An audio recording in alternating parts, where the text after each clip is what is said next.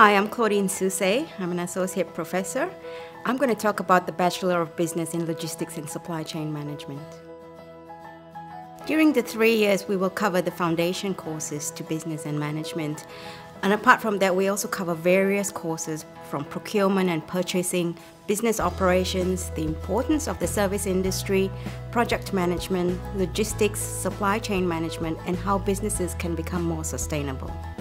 There's also an option to do an industry project in the final year where we will find a suitable company for every student to be placed in and to work with a business manager on a certain project.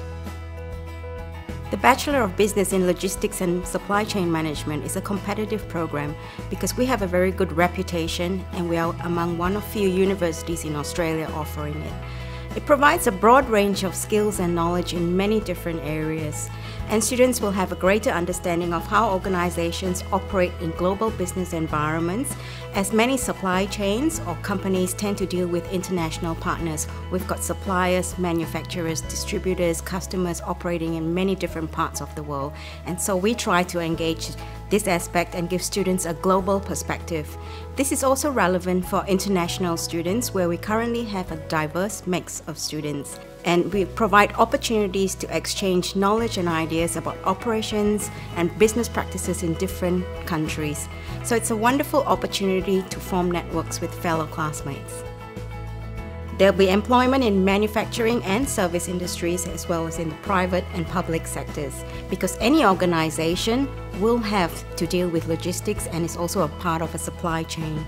So the op employment opportunities are huge.